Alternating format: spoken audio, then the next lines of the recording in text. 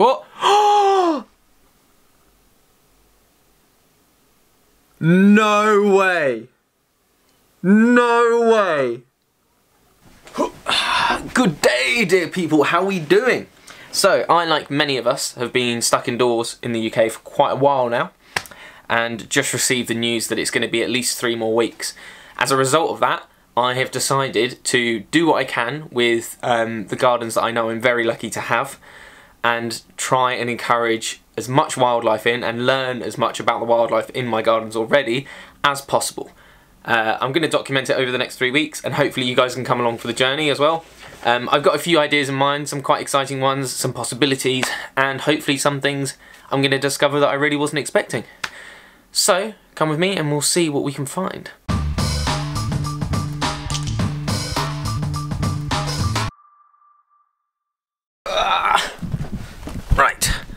So I think if we start with the front garden. I think we'll start with the front garden, which for me holds the most possibilities, especially with macro photography. Um, before we go outside though, I'd like to explain that I'm not really going to show the full um, location. Obviously, I'd kind of like to keep a little bit of privacy. Um, and one of the reasons I'm so eager to be outside is because I've spent so long indoors working on a new project. I'm very excited about it. It's been incredible to work on. And yeah, I'd like I'd like you guys to get involved, but I'll explain a little bit more about it later.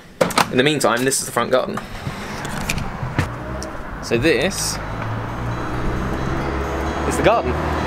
It's been a little dreary and wet over the last few days, but as you can see, it's uh, starting to brighten up, starting to be a little bit warmer. I can see a lot more insect life, uh, but effectively it's one large overgrown patch of grass. I don't think it's been cut this year yet. I think it was last cut midsummer last year. So I'm quite optimistic for finding some cool stuff in there. I don't actually know that much about um, insects or macro photography. I've given it a go and I've really enjoyed it before. But we'll, uh, we'll just have to trial and error with it, I guess. I think it's enough chit chat. Let's, uh, let's get taking photos.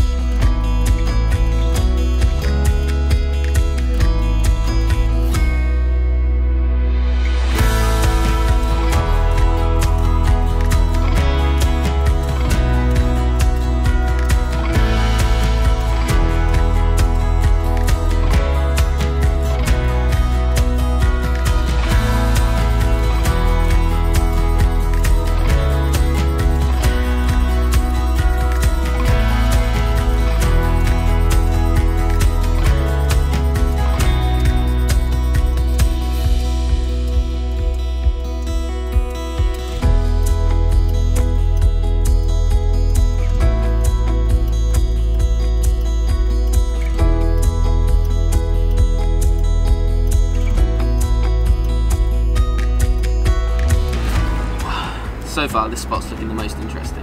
Uh, this is actually right by my front door as well. Uh, so it really is literally on your doorstep. Oh, what are you? What are you? What are you? What are you? What are you? Anyway, as I was saying, whilst I do this,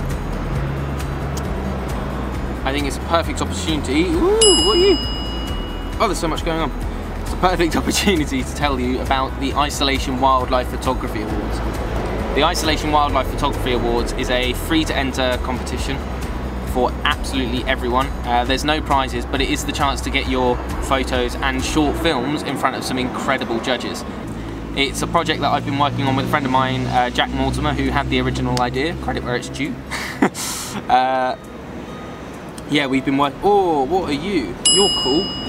You're a tiny little bee, yeah, he's got, it's literally just for fun and to be able to set yourself a challenge to get photographs of something you may never usually get whilst in this isolation period. Uh, it's even open to uh, houseplants, we're making the exception in this case purely because we just want to encourage people to get involved with nature and to get involved with photography. So here's the thing, it's getting a bit hot out there at the moment, so I've changed into my shorts and come indoors to cool off for a bit. So I'm gonna try the next aspect of this whole garden transformation uh, project and get the next stage underway. Uh, not entirely confident on my abilities to to get this uh, fully prepared in one go, but we'll give it a go. So once my parents had figured out that I was going to be spending isolation on my own, I think they felt a little bit sorry for me. So they took pity and very kindly sent me a new bird feeding station and what they described simply as a bag of seed. That's a lot of seed!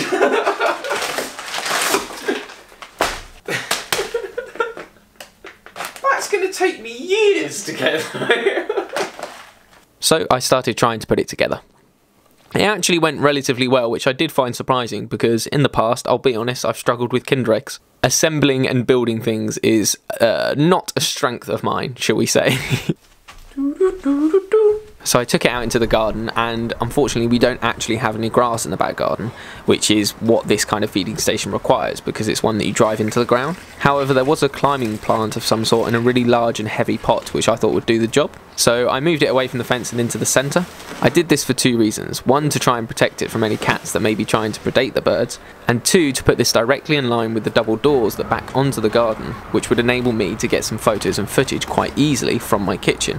I also made sure to add the small tray of water because this can sometimes be more effective in attracting in birds than food can, especially during the warmer months. Now it was all set up, it was just a case of waiting, so I moved on to the last thing I had planned for that week. Right, so it's getting quite late in the day now, but hopefully I'll have enough time for idea number two. I don't even know if the first one counts as an idea uh, one of the key things I'm going to be trying out over the course of the next three weeks, which is camera traps. I found the spot when wandering around earlier today and following some desire lines, which are basically the tracks made through grass um, or foliage of any kind, really, where animals keep following each other's footsteps because, in theory, they've already travelled a safe path. So if it looks like something's been through here before, you also, as well as animals, will follow that track because subconsciously you know it's a safe route or more safe. So the point I'm getting to is there's a point at which all the desire lines uh, and tracks through the grass converge in the front garden. I'm going to put that there. Probably just find a load of cats, uh, but it takes four AA batteries. The light is fading, but I should be able to get it done. it's full. Hey, Rom. I'm a little bit worried that it's not going to... How do you set up?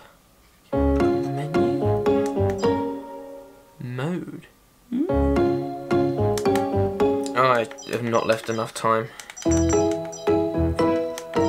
Yes, I just did that, and no one. Huh! What happened there? Ah, oh, that's gonna be annoying. Huh! Oh no, go away.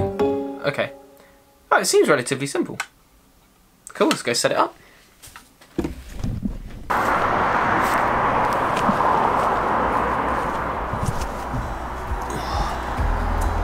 So in there is where I want to leave it.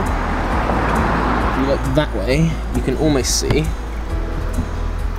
I don't, I don't know if it's coming across on camera, but there's like a line straight through there. There's one on the left as well. I'm going to try and dive straight in, but the road's right there, and there's a path as well. So, let me see.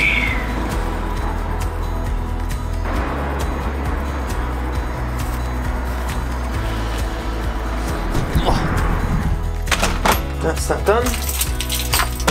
All locked up. I guess we'll check the traps tomorrow. See you then. Right, it's been just over a week since I set up the camera trap. Ooh, so I can leave it there. So I'm just going to go out and grab the memory card and have a look and see what it's captured.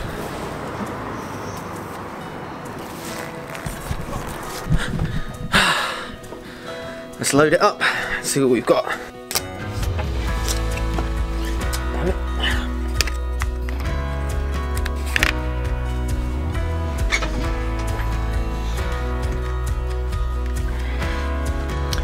As you can tell my beard's got a little longer. Don't worry, it's not staying. Uh, it will be uh, removed. Mm, I don't like the angle of this. I think it's slipped a little from when I set it up. Oh, there's a twig moving. Oh, this is annoying. I think something's setting it off, but moving through too quickly. Oh, there's definitely something been moving through. I think there's a delay. Oh, no. Okay, so... Let's... Oh, you see it then? There was a tiny little bit of... There. Something there. It's too close. My angle's all off, people. My angle is all... There's a lot of sparrows going through this little... I wasn't expecting that, I have to say. Just flicking through them all now. It looks like whatever's coming through is going left to right each time. So I think I need to angle the camera pointing a little bit left. Sparrow, and uh, they're just cleaning up the ants. But to be fair, that would be quite a nice photo if I could rig a setup for that. Looks like the sparrows are coming in every day.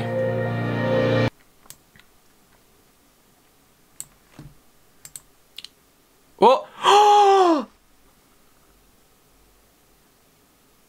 no way!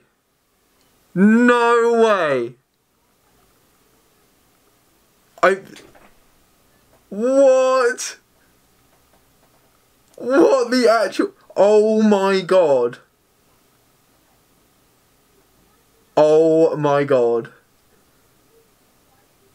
I was not expecting that at all.